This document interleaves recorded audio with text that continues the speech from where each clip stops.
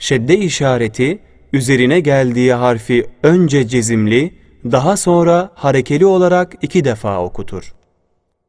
Tabbe Külli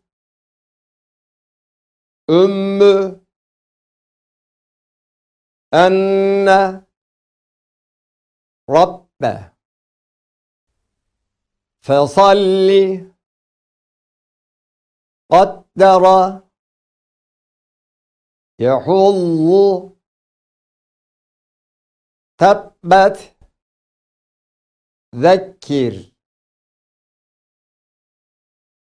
إياك مولي أيوب